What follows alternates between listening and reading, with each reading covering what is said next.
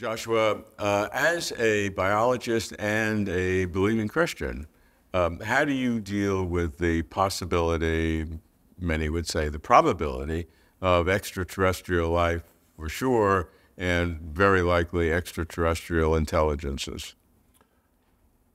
That's a great question.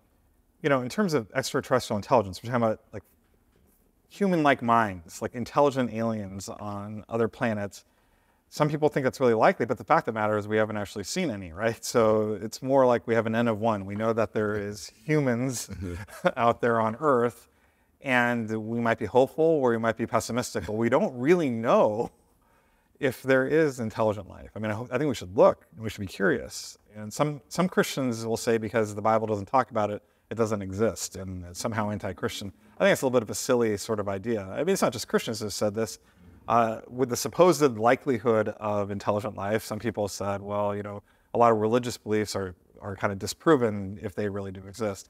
I think the reality of what's going on is if that there really was uh, intelligent life that we found, it would really raise a ton of questions, both in philosophy and in theology that, man, wouldn't those be really interesting questions to get into and look at? And so that's the way how I think about that and how, how that discovery or lack of that discovery is going to influence us. And I think it would in a lot of ways. Uh, one of those ways is how we even think about origin of life, right? Right now, um, in the same way that, uh, that the origin of humans is this one-off thing that only happens once in human history, uh, it's the same also when it comes to the origin of life, the first cell. And we have a hard time reasoning about N of ones, the cases where we just only know about one thing happening in, in all time. Now, it's possible that there's uh, when we go and we, we study enough uh, in, in Mars, we're going to find out there was an independent of origin life there, or maybe in Venus there's there's uh, there's actually you know, independent life that's up in the clouds of Venus, or maybe in Titan we might find it, or maybe in another solar system we might find it someday. In those cases, I think what would be important about that it would be show that the that the origin of life or life arising is a lot more likely than, um, than it could have been. It could have been really, really rare. It could, it could have been that the rise of life and the rise of humans are a true fluke. That, um, that we might even wonder if there's natural processes that can, can really fully explain it. Um, but if we start to see other types of life arise, uh, um, other types of intelligence, then I think that, that's, that starts to indicate that maybe this is a lot I, more likely. I think we need to uh, uh, distinguish between those two transitions non-life to life, and then life to intelligence. Um, and then the second category really has an A and a B, intelligence with consciousness, human-like awareness, or without, because you can imagine intelligence without consciousness. Yeah, see, these are all, like I would say, grand questions that are great contingencies. And because we only have ends of one, yeah, really, yeah, we don't yeah. have a solution. Well, one of them might have an N of two. So I think the first one is, like, why is there um, life instead of just non-life? Right, right. right? The other one is why is there consciousness instead of just unconsciousness? Yeah, I, I, I would put a, a, a little bit of, a, of an intermediary intelligence uh, uh, uh because sure. you, you, you logically don't need consciousness for intelligence. Sure. Uh, and maybe you can have consciousness without intelligence, although that seems less likely, but that's possible. Well, so intelligence in that sense, well, okay, sure, we can talk about intelligence that way, then consciousness, and then like the human mind, yeah, or human like yeah, mind is right. kind of like because there could be other kinds of intelligences and other kinds of, of minds. That's right. So, so the only so, one of those where we might have more than one end. So is the idea of other minds. Like a great example that's often brought up is octopi. So yeah. it's pretty clear that octopi have an intelligence, but it's very different than the mammalian brain. Right. Um, and while you know all vertebrates kind of trace back to you know a, a single radiation from you know uh, from some sort of like fish kind of coming out of the water, right? Uh, something's going, I mean, you know, octopi arise in a different way. So that's kind of like an N of two. We might have two there. Yeah, and, and some uh, materialistic uh, scientists, um, some whom my, my friends have talked to, really believe that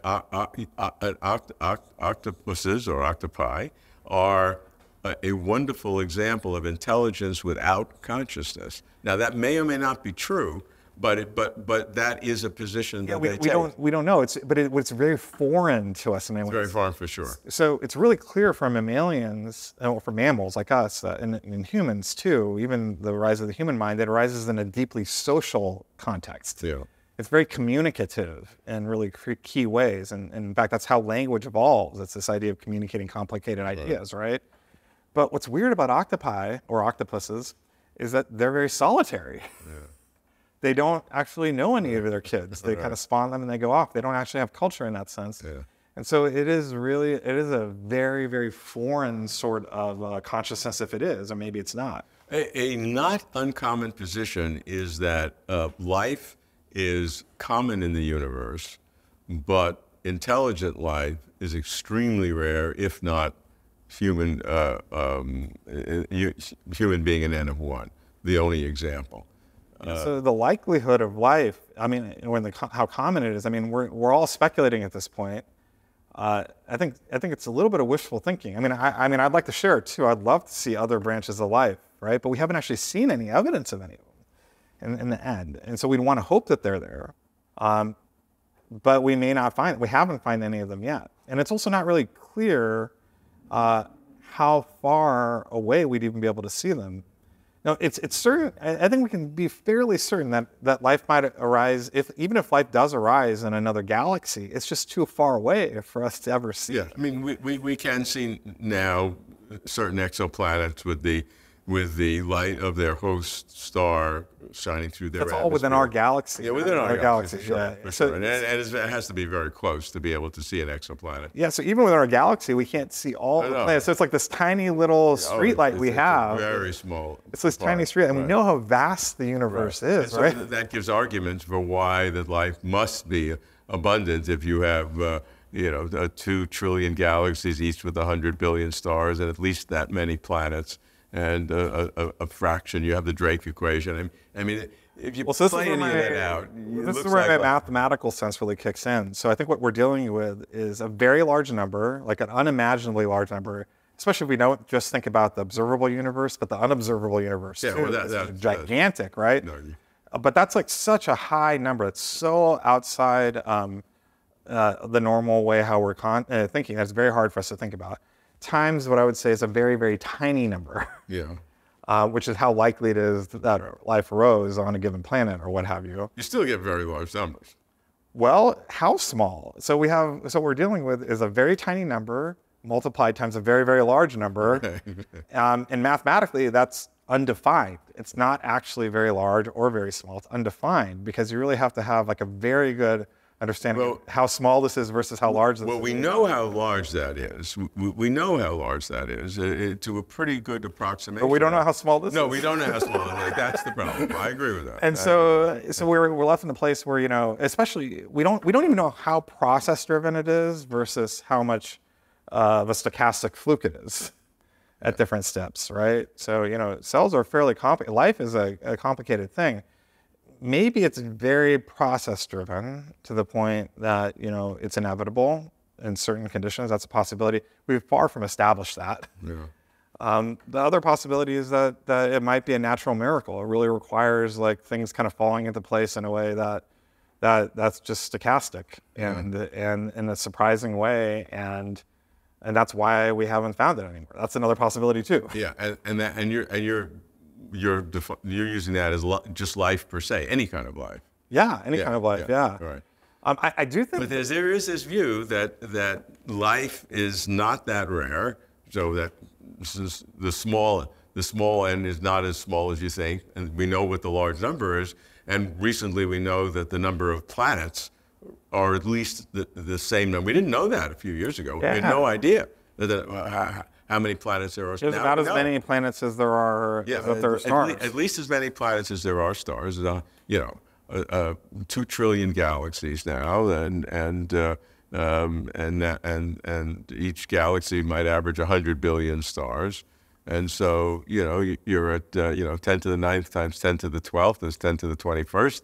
And, you know, maybe order of magnitude, I think 10 to the 22nd is, uh, is an order of magnitude that you can say for the number of planets, percentage of those that are habitable. I don't know, pick, you know, and maybe five percent. Yeah, so, so I'm granting that it's a very large number It's that you're multiplying, but it's also a very small number. And we don't so- know what that small number is. We Yeah, so then you're kind of left with an undefined thing. So I don't think anyone can really have confidence. They might have hope, they might have desire, they might have fear. Yeah, but what, what, they what- can't have confidence. No, I agree, I agree with that. But what, what, what I find fascinating is why distinguished biological scientists have told me that they have more confidence of finding life, even, even with your analysis, which, which I, I agree with, than finding the, the jump from life to intelligence.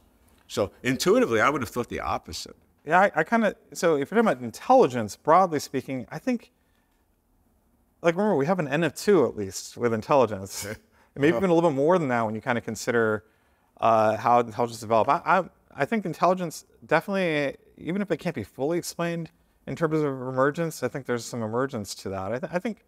I think I'd probably be with you on that one. I, I think that we don't really know about the origin of life, but I think if life arises, uh, I think we have enough data just because there's been more than one example, but that, that it's See, to more likely. that's- that seemed intuitively obvious to begin with, but I, I have met people who know more biology than I do and have thought about this very intensely and, and have argued exactly the opposite, that intelligence is the, is, is- is the, is the greater leap than, than to life.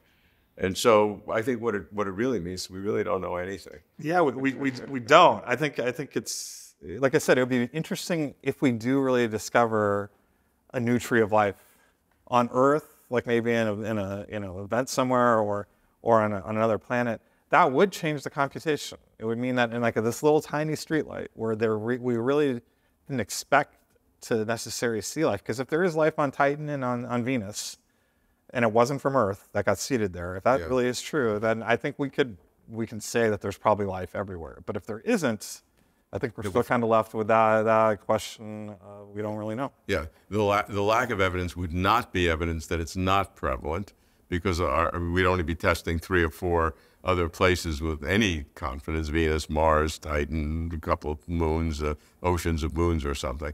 Um, but so if we found something, then the, the idea that life is, is ubiquitous would, would have a high probability. But if we didn't find anything, we'd still know nothing.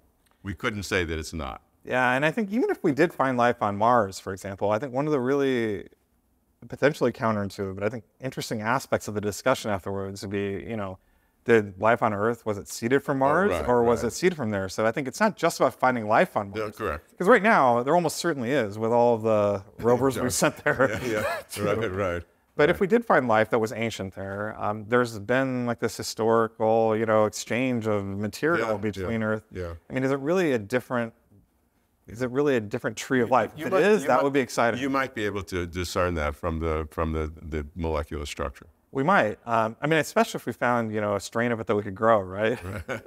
um, but with that line of reasoning too, even if we found another tree of life here on Earth in an exotic place, that that that would be interesting too. That would also help. But right now, it still seems that all life on Earth still kind of traces back to a, a common ancestor.